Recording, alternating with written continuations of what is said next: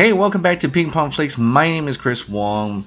First of all, this poster, wow, and the banner you kind of see down below my face, awesome. This is what we want. We want to see Superman, the official Superman, not the manipulations that people have done. Although you guys are really good at Photoshop, by the way, but this is the official Superman finally joining the Justice League in the poster, in the banner, and hopefully, I mean, hopefully they, he joins the TV spots and the trailers because I think you played your hand. It didn't really do too good in the box office. Let's show your cards, get your trump card out, bring out Superman in the marketing and I think they're finally starting that. But this is coming into Thanksgiving weekend. I I hope they're putting into the TV spots by now to show people that Superman's in this movie. Because believe it or not, I've met a bunch of people here in little old Hawaii that said they're not going to watch the movie because what kind of Justice League movie is without Superman? I had to convince them, Superman's in this movie.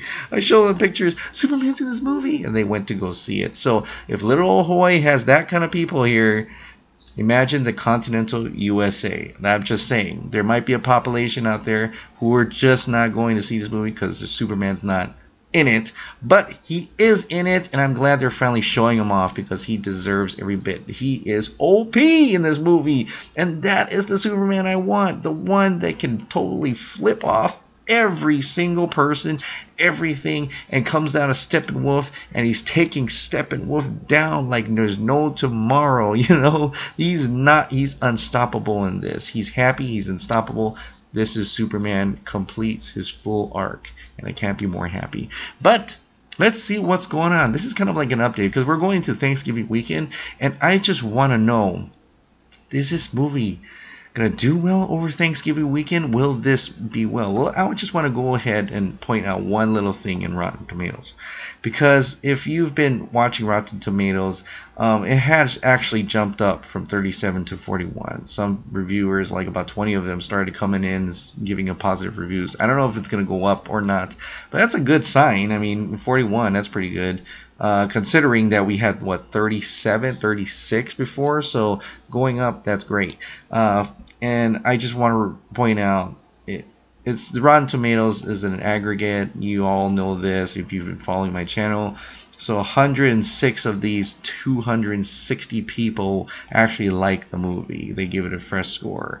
Uh, 106,000 ratings have gotten pretty positive mostly positive, 84% positive. So you see the distinction there between uh, Rotten Fresh, and that's that's interesting because a lot of these other critics who are who rated it fresh, and some of them are still rating it.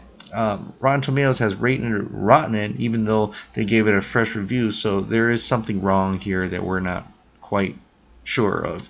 But uh, even some critics who've, who've already put in their reviews have said that their own colleagues are seem to be judging it more uh, cruelly and negative than they should be. So they're not sure why that is in itself. But let's I, I don't want to talk too much about scores and here and there. You like it, I like it, people don't like it.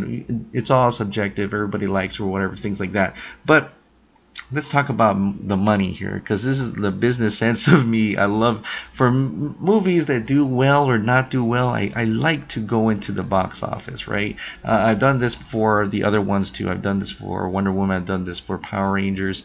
Um, i like to go into this type of, of talk because it's it's about money and i'm more of a business sense anyway.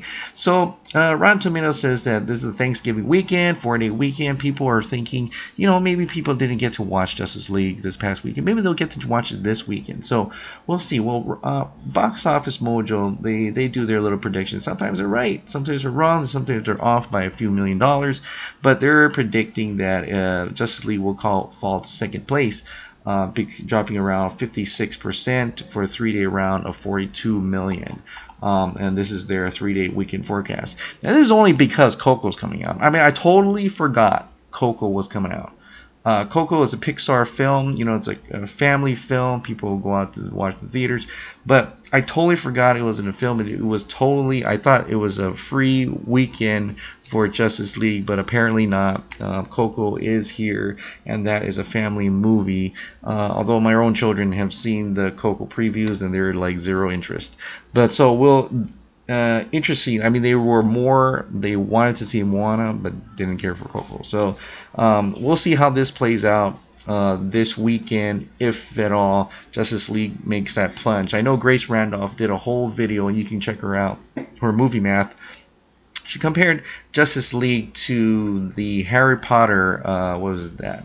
The, the Fantastic Beasts. And at that same weekend, uh, Moana came out. So Moana did 60 million, and then uh, Fantastic Beasts actually only dropped 40% from the weekend from before. So uh, we could actually see that happen again. That'd be great for Justice League if Justice League only comes down a few notch. Uh, that would be great for its box office number, great for its legs. Um, apparently, there is still a little bit of positive word of mouth, although a lot of people who watched Batman v Superman didn't like Batman v Superman are not coming out to see Justice League just because they've already made up their mind. Um, and that's unfortunate because uh, for people who didn't like Batman v Superman or Man of Steel um, and came to the watch Justice League, they actually like Justice League better. That's the type of tone that they want. And on the other flip is that people who love those two other movies went to Justice League and didn't quite like what they saw there and are now uh, petitioning for a Zack Snyder, Snyder cut. Whether we get there or not, I don't know. But I have a whole video on that, so you can check that out. But this is just talking about box office numbers. So Coco 51 million, Justice League 42. Um, it seems 50, around 40 to 50 percent is a good holding place. I think um, if it does that 70, 60, 70 percent drop that um, Batman v Superman and Suicide Squad does, then it's it's gonna be coming crashing down a lot. Now everybody talks about how domestic numbers, domestic numbers, domestic numbers. Um, I just want to give maybe a positive light on this. Whether uh, it really is positive or not, uh, it remains to be seen until the end of the run. But for now, um, this opened up uh, worldwide, except I think Japan. Uh, domestic is 101, foreign is 185, worldwide 286. So everybody's looking at domestic. Or actually, it was like 94, right? And so this includes Monday. Um, I just I like to look at the charts and the rankings. Um, and it, if, if it eases your mind, you can go ahead and look at that too. But let's look at worldwide opening because I know we're all America centric, but I'm worldwide because worldwide makes it count. Worldwide makes it a billion dollars, not America. America flops here from 100 to 400 million, you know, but worldwide makes a difference. I mean, it's a big chunk. Don't get me wrong. America is a big chunk, but so is China and everybody else. So let's go into this. So worldwide opening, these are the hits. Worldwide opening, Fate Furious, 541, Star Wars, 529. You know, big big chunks. So out of 142 movies here, Justice League, where are you at? Justice League is currently at number 24, 278 million worldwide. 66% uh, of the movie is tapped in that market of that opening. So that's a quite a big number. That's a big number. 278. If you compare it to look at look who's right below it. I mean, uh, if it gives you any peace, Twilight, Saga New Moon, Hunger Games, Mockingjay, Crystal Skull, Suicide Squad was below that. X-Men Days of Future Past. X-Men Days of Future Past. That's like a 90 something percent critical rating, a cinema score. So uh, all those scores, it really doesn't matter. For some, it, it, it doesn't matter too much. Spider-Man Homecoming, Guardians of the Galaxy Volume 2, Dark Knight Rises, Lord of the Rings, you know, all of these. But of course, you got to get into account this, uh, how much percentage did it open. Um, this is higher. Pirates of the Caribbean, um, Days of Future Past, let's look at that because that seems to be the closest one here. Um, let's see. So that ultimately ended up at 747 million worldwide. So opening weekend was also 90 million, so that's just below that. So if you look at that spin, that's a group film too, although it's not as big as Batman, Superman, Wonder Woman. But if you want to look at that, uh, I think I think it will do fine. It's not going to be the record breaking uh, movie, but it will make money.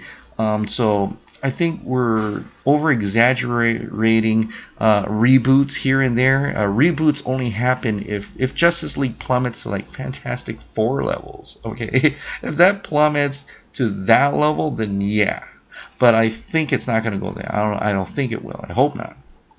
because uh, that means if that makes more money, they're going to keep making more D16 universe, and I would love to see where it goes from here. I would love to see. I don't want it to die. I want Henry Cavill to be Superman forever. So uh, I would love to see this go on, and if I'm just showing you this to give you any peace of mind of where this movie may be headed. Oh, here, Fantastic Beasts, where to find them? 814 million. That if if that trajectory is what uh, Grace Randolph is thinking at 66%. Of course, that had a better Rotten Tomato score, but if you take out that factor, 219 million, and that was at 66%, um, you click on it, and the entire take opening weekend was only 74, 814. So, and that's getting a sequel. So, take that what you will.